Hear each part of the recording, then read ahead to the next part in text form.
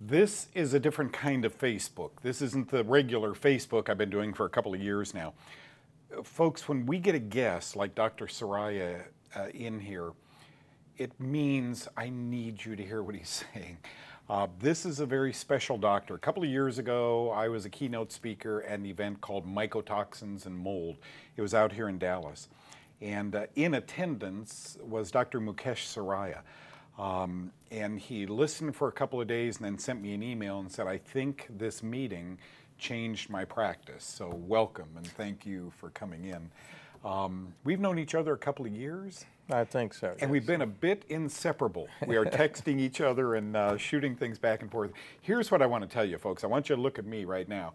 Now, look at that. If your grates in your home look like that, or if the ceiling in the bathroom looks like that, and we all know people. If yours doesn't, there's somebody watching now who does.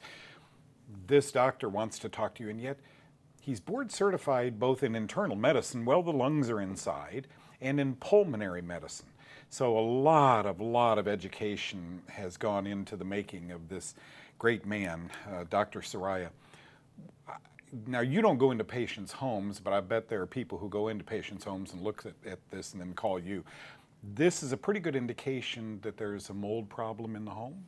Absolutely, Doug. Um, so, being a pulmonologist, uh, 27 years in practice uh, in Denton, Texas, and uh, you know, over the years, um, you know, the type of patients that I get into my practice are those that are coughing, uh, recurrent sinus infections, recurrent bronchitis uh, and, and, being on antibiotic after antibiotic. And by the time they come to me, they've already been through, you know, four or five different antibiotics and steroids and on and off, you know, seasonal kind of, a lot of it is seasonal, a lot of it is persistent and chronic. So over the years, we've been looking to, to find out what the cause is in, in doing this. And, and uh, in effect, you know, basically we end up doing, you know, a procedure called bronchoscopy where we remove the mucus yeah, and, and, and culture that. And what we've been discovering is. Can, can, I just ask you, a bronchoscopy, I scrubbed for a couple of those back, you know, a thousand years ago. Put the patient's head back, put the tube in, you anesthetize the patient. Yes. Just takes a few minutes to yes. do the whole procedure. It, it, yes. And you suck out some of that which is in his lungs, blocking him from breathing freely, him or her. That's correct, yeah. So, you know, it's an outpatient procedure. You know, you get anesthesia just like doing any other endoscopy like colonoscopy. It's twilight sleep. Okay. Uh, literally takes me five to seven minutes to do. Yeah, and and and we go deep into the into both the lungs and and and and, and get a lavage, you know, with with saline, you know, salt water. So clean it and send it off for culture. So what we've been discovering over the last, you know, 20 years of my practice is that 80, 90% of these folks will not have a bacterial infection, that it's related more or less to mold. Well, wait a minute, but 100% of these patients outside of your practice, yes. if I go see anybody at Mayo Clinic, we're going to get an antibiotic. Absolutely. And you're saying it's not bacteria. It is. Uh, a lot of times by the time they get to me, uh, you know, they've had three or four different rounds of antibiotics that haven't worked, which is why they seek, you know, out, out you know, uh, more looking for more answers. They end up, you know, com coming in to see me. By the time I, I see them, there's no more antibiotics to be given. They've already gone through the whole gamut of whatever is available you know, your Bactrims, your Augmentin, your doxycycline. And, and when cultured, you know, you just find something that just was never treated, you know, which is mold. Why, why didn't the other, I mean, this is a procedure, a hospital, you have to go in a hospital and yeah. use their operating room there. It takes a few minutes. Why didn't the other pulmonologist test it? Well, that's unfortunate. and, uh, and, and it's more common than one would think, um, you know, in terms of uh, the, the, usual treatments. Uh, you you and I have had discussions where, you know, despite knowing, you know, that there's mold or fungus and no bacteria, you know, when patients get admitted to the uh, medical, uh, you know, care unit or intensive care unit, a lot of them get treated with very what we call broad spectrum antibiotics. Empirical uh, treatment. Uh, uh, all, all empirical. It's yeah. not not culture based, you know, evidence based treatment. So typically, if I were to go to an emergency room and I was coughing, hacking. Um, well, you might think it's a virus, but I had a chronic problem. Right? A chronic cough. This has gone on two years uh, since I went into grandma's basement. I don't know what it could be, have been in grandma's basement. I mean, pulmonologists will probably hear things like that, but the typical, and do you think it's because they're seeing 40, 50 patients a day? Just quickly, boom, out comes a prescription pad, write down an antibiotic, hand it to them. Do they Well- get relief for a week or something? Uh, honestly, Doug, you know, before I met you and, and learned about mycotoxins, I was one of those doctors. Okay. And, uh, and although I knew that what I was dealing with was mold and fungus, um, when I first started discovering, you know, the, the, the presence of mold in, in, in the lungs, I, you know, I was thinking more uh, colonization, like the, that's the common belief that colonization is the, these are, are, you know, coexisting with you and don't need to be treated. You know, it's just there, it's in the environment, you're going to have it.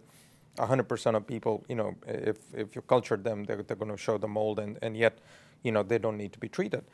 Uh, and yet, you know, conventional medicine ends up treating something that is not there, that we know is not there. You know, these are culture-proven, you know, bio, uh, you know, Yep. bronchoscopies that that pinpoint exactly, you know, what the cause is, and yet conventional wisdom is, you know, that these are colonized, you know, organisms that do not need to be treated. So, in essence, what is going on is we are treating people, over treating people with, with antibiotics, broad spectrum antibiotics, that are killing the bacteria, and in turn, there's an overgrowth, you know, of, of fungal infections, both in the lungs and the GI tract.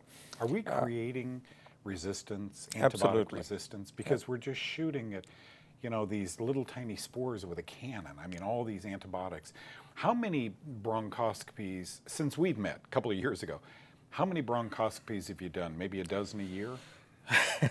More? Oh goodness, I do I do uh, on an average about 50 bronchoscopies a month, 50 a month. 50 a month. So since we met, maybe a 1,000 to 1,500. Easy, yeah. You and o- on the over a course of my career, you know, Okay, yeah. This is important information, folks. You need to hear this.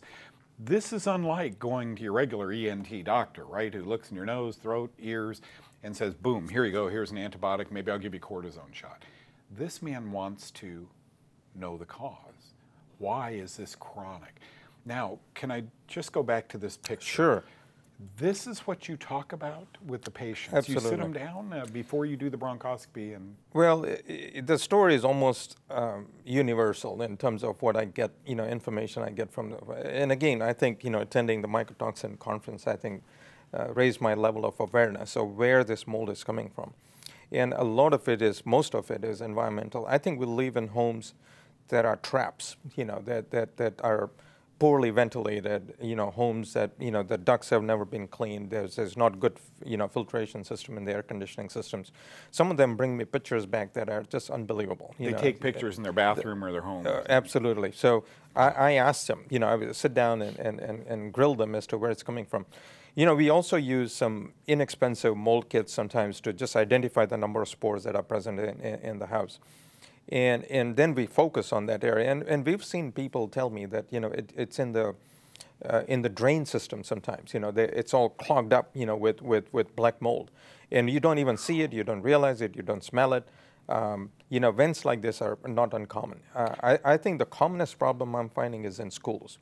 Uh, the flat roof buildings, you know, with, with water leaks almost invariably, you know, like the rain we had today, you know, the, the probably pails of water, you know, buckets sitting, you know, and the, you know, under And the, ceiling school leaks. Teacher, Yeah. school teacher gets sick, and so you got a substitute for a week. Absolutely. Then the substitute gets sick. Then the kids, and we and we, we believe it's because the kids weren't vaccinated against the flu, but could it be mold in the ducting system? These You know, the other day I had a teacher who um, uh, had some pile of uh, a box of books sitting next to his desk, and he spilled water. You know, the- accidentally there was a water spill, cleaned it up, and and it sat there for for a few uh, weeks. Uh, he then opened up one of the books, and he said he felt immediately he knew what was going on. You know, the book was full of mold. This was with one spill. Yep. And and he inhaled it. And since then, he's got dizziness. He's he's got a fog on his head. You know, he's got. Now, had I not attended the meeting on mycotoxins, I would not have put this together.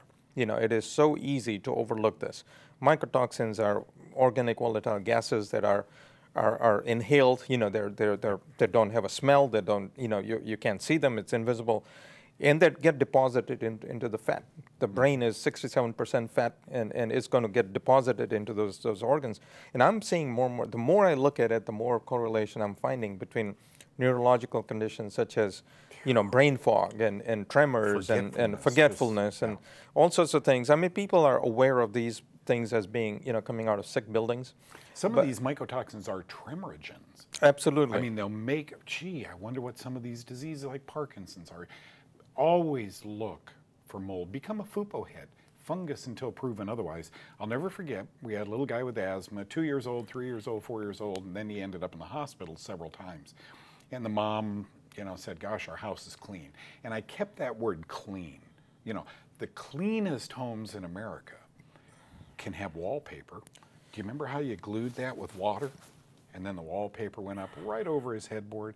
Remember, you want your carpet so clean when the family comes by for holidays that you'll get the whole carpet wet, right on the slab or the plywood, all wet, and then suck up the carpet.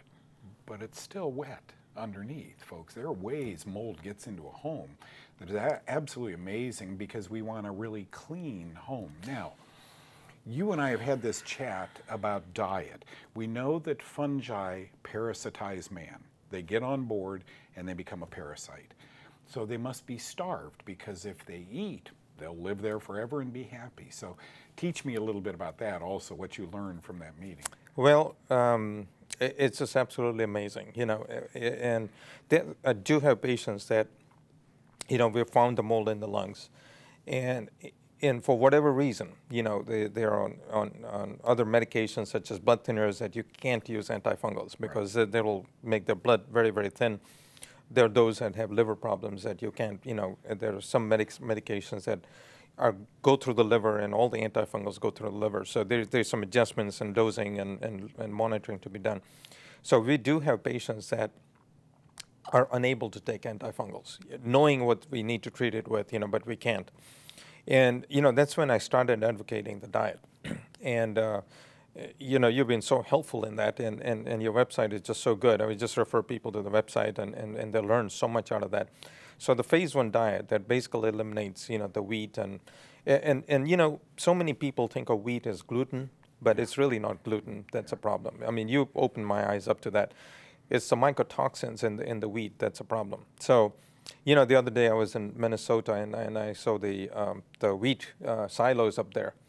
And it's so easy. I've actually spoken to people that work in those silos, and it's just absolutely filthy, you know, at the bottom of the, of the silos. And, and it's once I've explained that to the patient, they really do understand. So eliminating wheat, rice, you know, starches, you know, pro- uh, processed foods, we've seen some amazing, amazing results. You know, they, they lose weight fast without really cutting back on the calories and they start feeling much much better you know simply on the diet.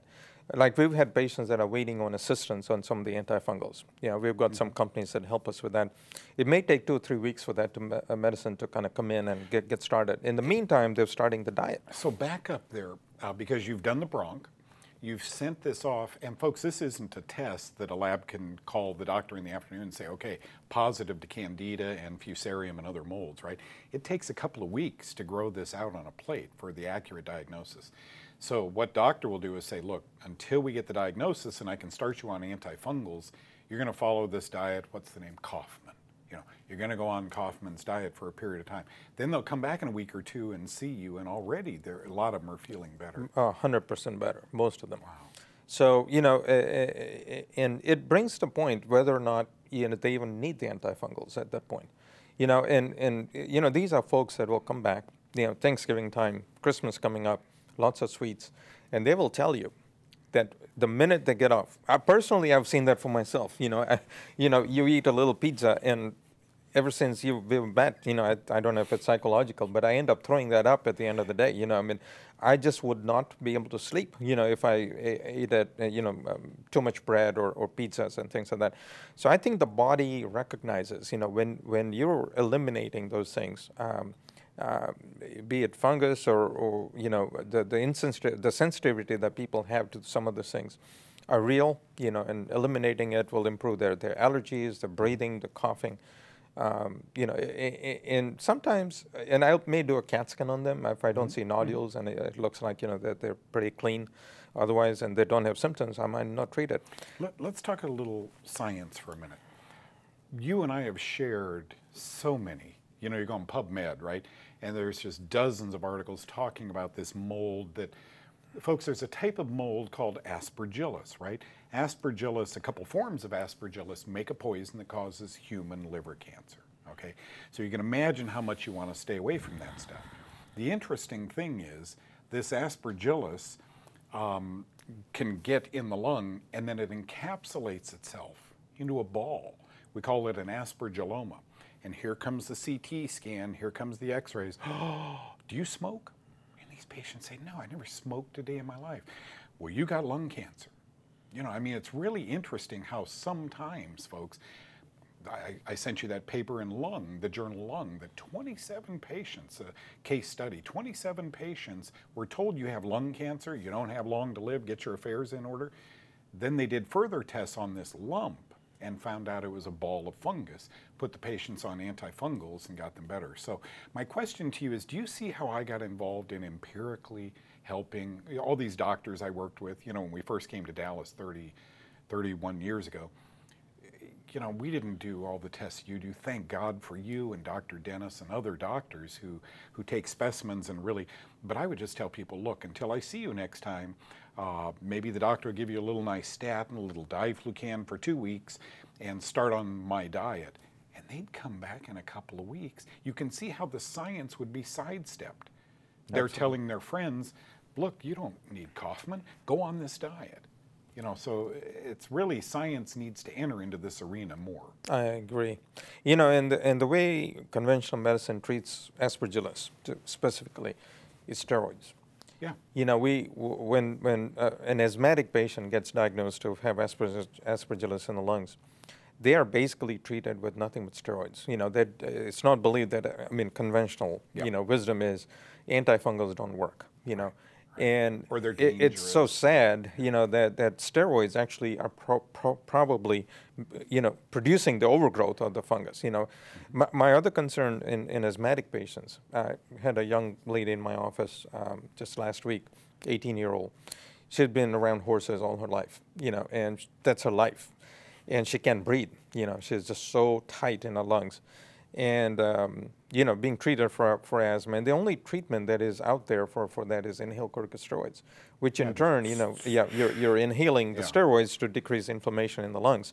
And asthma is inflammation. So n- not to undermine the, the importance uh, of, of inhaled corticosteroids at the same time if you don't know what's causing that asthma in the first place which a lot of them have aspergillus you know uh, within the lungs coming from hay. You know, they're around, you know, the horses hay. and barn, Moldy and, and uh, they're, they're just, you know, yep. inhaling that all day. So it, it works two ways. One is uh, irritation, you know, that leads to the, the, the, the production of, anti, of, of, of, inflammatory substances that leads to the bronchospasm. But it also produces excess mucus, mucus plugs, and that is, you know, uh, if you look up the literature, mucus plugs is really what kills people with asthma. So while inhaled corticosteroids have saved a lot of people from, you know, real bad asthmatic attacks, used over a period of time and used inappropriately, you know, may actually be promoting the growth of, of the, of the uh, aspergillus, which again is treated with steroids and not with antifungals. And you bring up, you know, folks, have you ever heard of farmer's lung?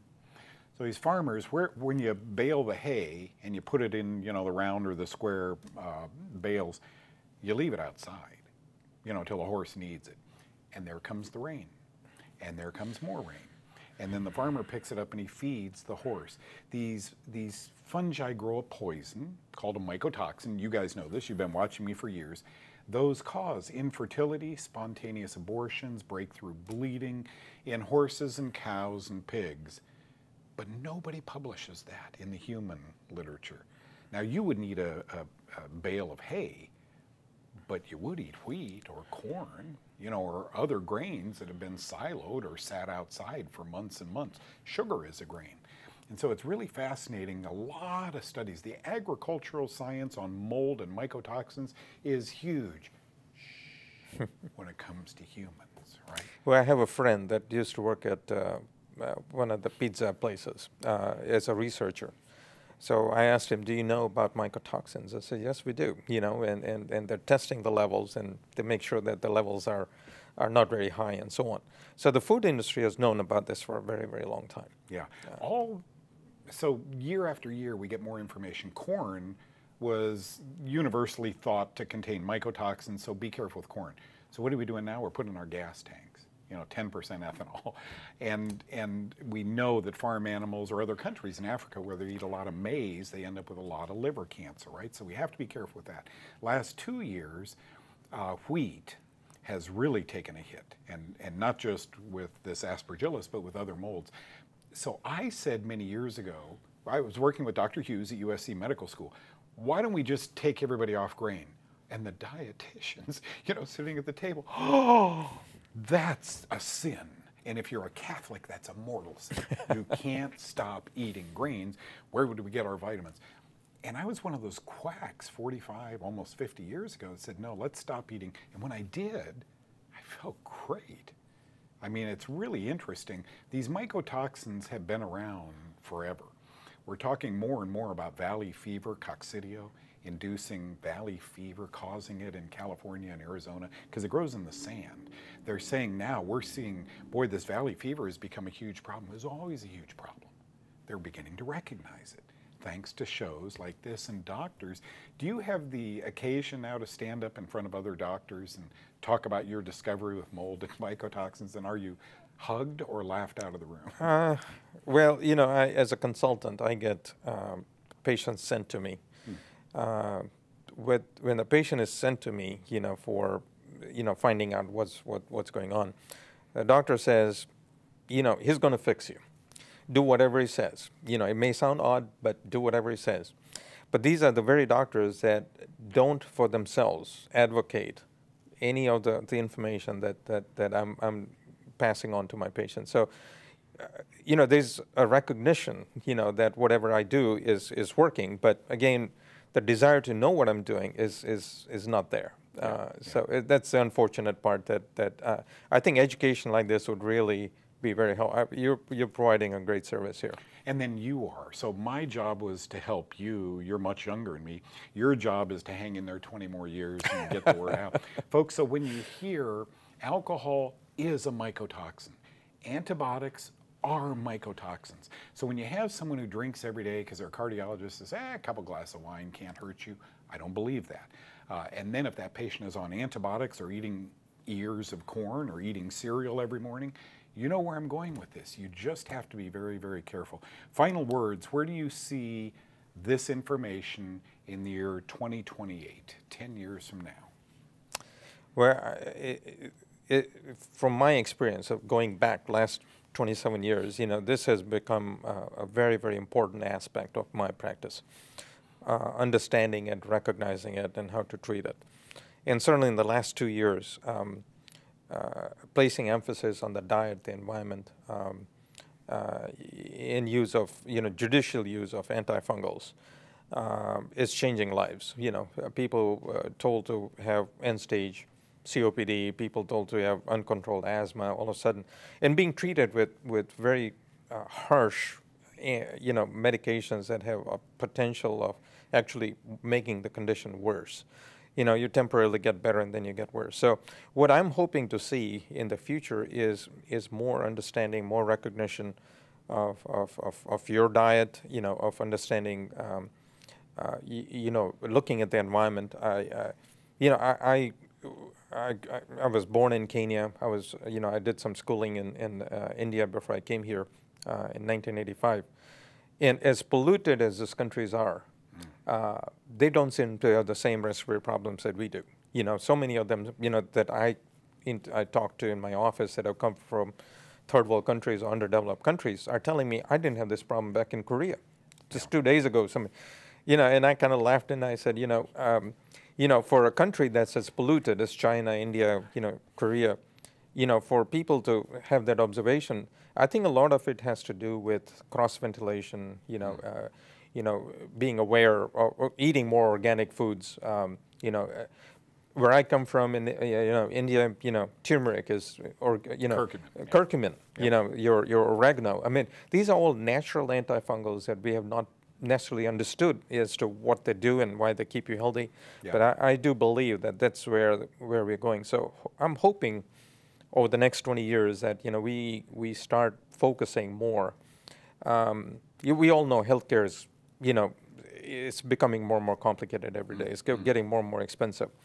I currently have a $6,500 deductible. You know, after paying $15,000 a year, you know, in, into premiums, that don't do anything for me. I think most people need to take their health in, in their own, you know, control. Yep. I think they all need to look at their, their diet. They all need to look at their environment. Stay away from doctors, you know, that, that are treating you with empirically. You know, I think Mm-hmm. you need to know what it is that is being treated, uh, and and um, Know the uh, cause. Know the cause. No, understand. You know what what what is causing the problem. Don't fix something that is doesn't need fixing. You know, Yeah. and and and and uh, go after that. So I, I'm hoping um, education through your shows and and others like yourself is, I believe, very very important. You need a Medicare card. No, we, don't, we don't pay much on that. And you know, you bring up a valid point. You look at India and China and so forth, and these people walking with masks on, and they don't have the respiratory disease. We're an affluent America. That means we can go to doctors and get lots of cortisone, lots of antibiotics. Uh, That means that we can drink the finest wines and so forth. So really appreciate your time. Dr. Mukesh Saraiya, S A R A I Y A. Dr. Mukesh Saraiya out of Denton, Texas. Love you, man. Thank you very much for your Thank you. Doug, for You having me.